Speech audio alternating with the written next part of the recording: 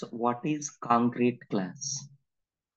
See, concrete class is nothing but a class with all concrete methods only.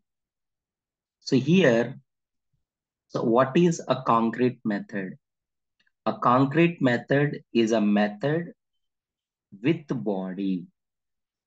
Nothing but with the definition is called a concrete class. See, all the normal classes, what we define called concrete classes only. See concrete class. For example, calculator is a class which contains the methods. Add is a method, right? Here it is a logic.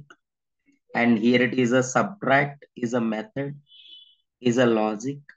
These are a method with body, with some logic is called concrete method. A class with all concrete methods called concrete class.